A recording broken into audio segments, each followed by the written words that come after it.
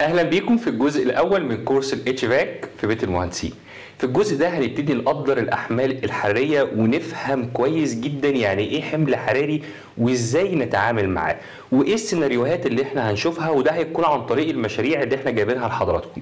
هنا هبتدي بمشروع أولاني وده المشروع هيكون يعني هتسمع كتير قوي لمشروع اسمه 15 Space هو مبنى موجود في القاهرة مبنى إداري. والمشروع الثاني هو مشروع عبارة عن مدرسة ودي موجودة في البحرين.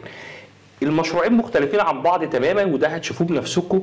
التفاصيل الخاصة بالمشروع الأول هتكون مختلفة عن المشروع الثاني فبالتالي هتكتسب مهارات كويسة جدا في جزئية ال load estimation. نصيحتي ليك في جزئية ال load estimation إنك تفهم كويس جدا كل حمل حراري بنفسك. حاول تعيد الفيديو مرة واتنين لغاية ما تحس إنك فهمت بشكل كويس جدا.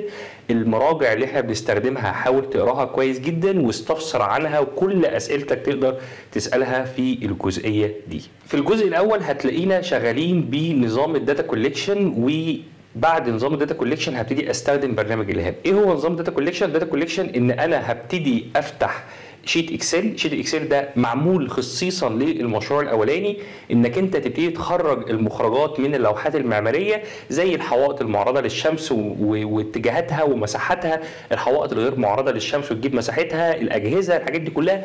كل الحاجات دي كلها أنت هتاخدها وبعدين تحطها في sheet ال Excel sheet ال Excel ده معمول علشان بس ينظم لك الجزئية دي إن أنا آخد ال data هنا أحطها وأحولها لارقام في sheet ال Excel ثم هبتدي أشتغل على برنامج ال HAP. فمهم جدا في جزئية تسليمة شغل ال data collection للمشروع الأول. ولازم يخلص الأول وتعتمدوا من الدعم الفني وبعد كده تخش على جزئية ال HAP وتطبق اللي انت اعتمدته في data collection تحطه جوه برنامج ال HAP.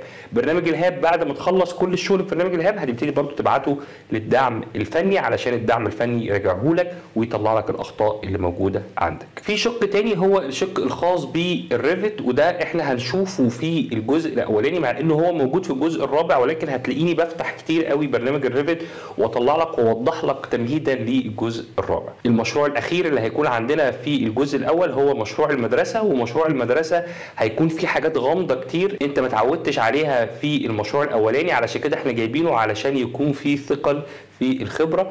مهم جدا جدا بعد مرحلة التسليم إنك تقعد تغير في تقارير إلهاب وتشوف كل حاجة أنت بتدخلها هي بتأثر في إيه في ريبورت إلهاب. يعني مثلا على سبيل المثال أنت هتروح مثلا للحوائط المعرضه للشمس. في عندك مكان مثلا في ثلاث أربع حوائط معرضين للشمس. قللهم وشوف إيه اللي هيحصل report ال HAP. زودهم وشوف إيه اللي هيحصل report ال HAP. عندي مكان في اتجاه الشرق روح غيره خليه في اتجاه الجنوب وشوف إيه اللي هيحصل في report ال HAP. مهم قوي إنك تتعلم بالطريقة دي ولكن بعد ما تخلص معانا في الجزء الأول اقعد مع نفسك كده كوباية شاي أو كوباية قهوة واقعد جرب بنفسك. ال activity بتاعت الأشخاص كل ما ازودها ك activity إيه اللي بيحصل؟ بتأثر في إيه في report ال HAP ال RH فرق في إيه؟